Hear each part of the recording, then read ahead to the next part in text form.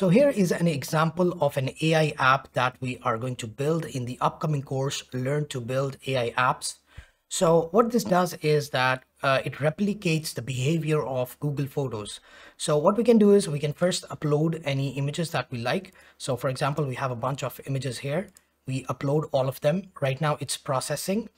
So it is almost done. There you go.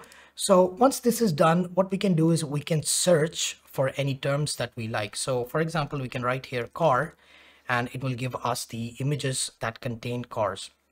Now, the interesting part is that we can write car and person. So it will display us only the images that have both car and person in them. So here you can see there's a car and the person is there as well. Here we have person and the car is behind there. So we have car here. I believe this is detected as a person. And then uh, we have a person here and the car is there and so on. So uh, we can also try, for example, pizza. So here we are getting these images, but what if we write pizza and person?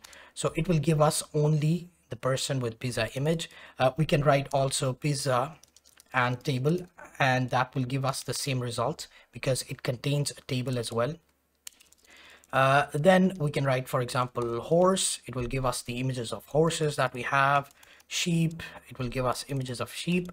And we can uh, basically search for other terms as well, uh, whatever we have in here. And let's say we wanted to search for person, uh, and then we also wanted to search for chair, person and chair. There you go. So I'm sitting on a chair. That's why it has displayed us this. So the idea is that it is storing and if we refresh this, it will already have all the previous ones and we can upload more files.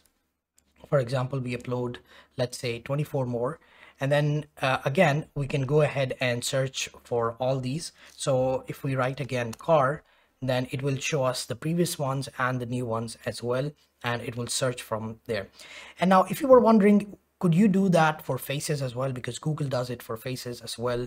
Uh, so for example it will recognize me as a person and then you can write a name for that person. And then you can say for example Murtaza in a car. And then it will find all the images of me sitting in a car so yes, you can do that too. Uh, there's a method of doing that as well. So you'll be able to write the names of different people. Uh, of course, it will need a lot of programming for that as well, but I will explain how you can do that uh, as well.